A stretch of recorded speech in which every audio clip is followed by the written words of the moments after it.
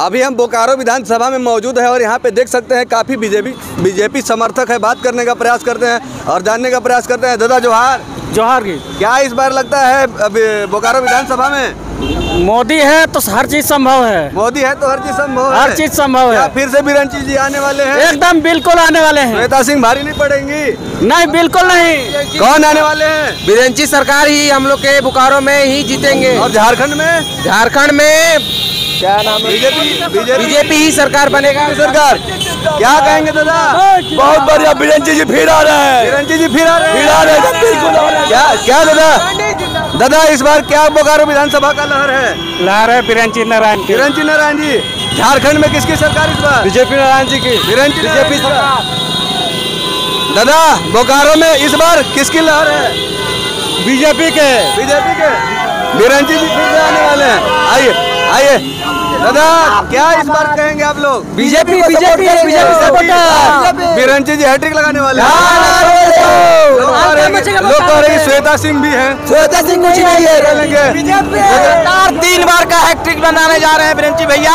हाँ। और आप लोगों को भी आइएगा तेईस तारीख को धूमधाम से हैट्रिक लगाने जा रहे हैं। एकदम हैट्रिक लगाने जा रहे हैं। में सरकार किसकी चाह रहे हैं बीजेपी की बन रही है। दादा जोहार। जोहार। झारखंड में सरकार किसकी इस बार? BJP BJP. हेमंत सोरेन से नाराज़ है क्या आप लोग? हाँ हेमंत सोरेन कुछ काम नाराज़ है किया नहीं किया अभी तक। चलिए आइए देखिए यहाँ पे इधर आइए एक और लोग से बात करने का प्रयास करते हैं। देखिए। दादा जोहार। जा जार इस बार बोकारो विधानसभा में आप लोग क्या मन बना रखे हैं? मान बनाए हैं मोदी का लहर है। हाँ। मोदी जी। मोदी जी का यानी कि बिरंची नारायण जी को हैट्रिक आप लोग लगवाने जा रहे हैं। जी जी। और जोहार। कैसे हैं दादा? ठीक है। इस बार बोकारो विधानसभा में किसका लहर ज़्यादा दिख रहा है?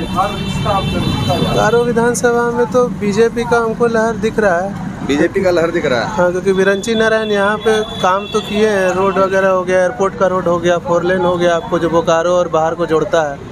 तो बाकी सारा चीज़ तो हुआ है। दादा जोहार जोहार कैसे हैं? ठीक है। चल रहा है। इस बार बोकारो विधानसभा में कौन किस पे भारी है? श्वेता सिंह जी का लहर है या फिर बिरंची नारायण जी का? बिरंची नारायण बिरंची नारायण जी का। क्या इस बार बिरंची नारायण जी फिर हैट्रिक लगाने वाले हैं? मालूम हो रहा कैसे? हैट्रिक लगाने वाले हैं। आखिर उनका कार्यकाल कैसा रहा? विकास किए हैं क्षेत्र में? काम धंधा किए हैं। उतना खास कुछ नहीं हुआ लेकिन ठीक है। फिर भी जो है कि उन्हीं को जिताना चाह रहे हैं आप हाँ। चलिए आइए आइए। दादा इन्हें का चांस है थोड़ा बड़ा। किनका चांस है? बीसी नारायण का थोड़ा बड़ा है जान चांस है? कुछ काम वगैरह किए हैं? काम करता है थोड़ा थोड़ा बहुत किया है। हाँ। और इतना तो लगता है कि तीसरी बार फिर से कमल का फूल यहाँ से खिलेगा। विदेशी नारायण पर नहीं खिलेगा हाँ। कमल पर खिलेगा। अच्छा अच्छा यानी कि मोदी जी के नाम पे खिलेगा। हाँ। पार्टी के नाम पे। हाँ। बाकी उनका कार्य पे नहीं खिलेगा काज इतना ज़्यादा नहीं किया है। अच्छा अच्छा अच्छा अच्छा, चलिए आइए और लोग से बात करने का प्रयास करते हैं। और दादा कैसे हैं? सब ठीक है। क्या इस बार यहाँ का लहर है? श्वेता सिंह जी भारी पड़ रही है ना ना हम लोग को मोदी क्यों देना मोदी के नाम पर बिरंची नारायण से कोई मतलब नहीं है। मोदी के ही नाम पर मोदी जी के नाम पर फिर से बिरंची नारायण जी को ला रहे हैं? हाँ ले रहे हैं। अच्छा बिरंची नारायण जी का कार्यकाल कैसा रहा है? देखिए सब इतना बड़ा क्षेत्र है सब पूर्ति नहीं ना कर सकता है। हाँ, हाँ। हाँ? लेकिन फिर भी जैसे कभी सुख दुख में आप लोग के वो आते जाते हैं कि नहीं? सब ठीक है कोई कोई एक एक का नेता वैसा कोई नहीं रह गया है हाँ हाँ। कि आपका काम करेगा। सब अपने ही काम लेकिन मैंने मोदी जी के नाम पर बिरंची जी को हिलाने जा हाँ, रहे हाँ, हैं। अच्छा झारखंड में सरकार किसकी चाहते हैं? हम लोग बीजेपी के चाहते हैं। बीजेपी के चाहते हैं। हाँ। हेमंत सोरेन जी के कार्यकाल से भी ना वो कुल नहीं सब लोग पेरोल पर छूटा हुआ है। सब हाँ, जो विकास होना चाहिए झारखंड में नहीं नहीं होता है। इसलिए बदलाव की लहर है। हाँ, बदलाव की लहर आते हैं आइए और कुछ लोग लोग से बात करते हैं और जानते हैं। दादा। कांग्रेस को नहीं। जोहार। जोहार जोहार। कैसे हैं दादा? सब ठीक है। इस बार बोकारो विधानसभा का लहर क्या है?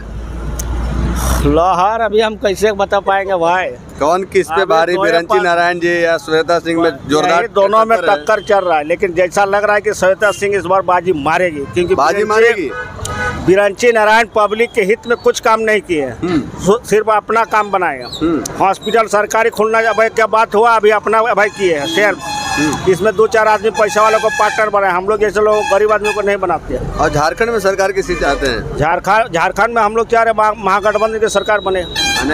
फिर से हेमंत सोरेन को ही आप लोग चाह रहे हैं हाँ, उसी को चाह रहे हैं। दादा क्या नाम है? रमेश कुमार मेरा नाम है।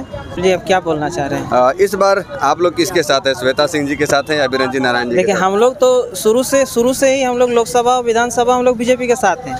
लेकिन हम लोग अभी जो तत्काल में विधायक श्री बृंची नारायण जी हैं उनका काम से हम लोग संतुष्ट नहीं है। हाँ। उनका काम से हम लोग एक रुपये भी संतुष्ट नहीं लेकिन वोट देंगे बीजेपी को ही। बीजेपी को ही दीजिएगा? वोट बीजेपी को ही देंगे लेकिन नाम पे? मोदी जी के नाम पे या किनके नाम पे? हम लोग बीजेपी का ही कट्टर सपोर्टर है। हाँ वो किन्हीं को भी खड़ा कर दे हम लोग देवे करेंगे। लेकिन हम लोग विधायक जी से काम का संतुष्ट नहीं है। मैंने विकास से कोई मतलब नहीं है बीजेपी को वोट हम बीजेपी को ही वोट देंगे। हम लोग का जितना भी उधर गाँव दिख रहा है हम लोग 80 परसेंट बीजेपी को भी वोट देना है।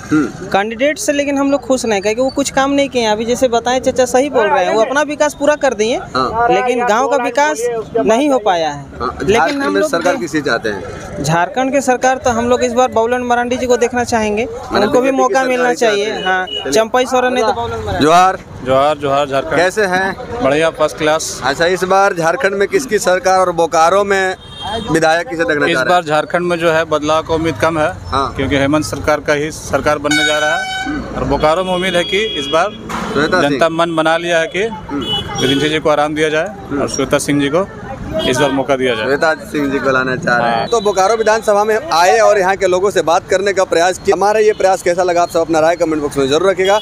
मिलते हैं नेक्स्ट वीडियो में तब तक के लिए जय हिंद।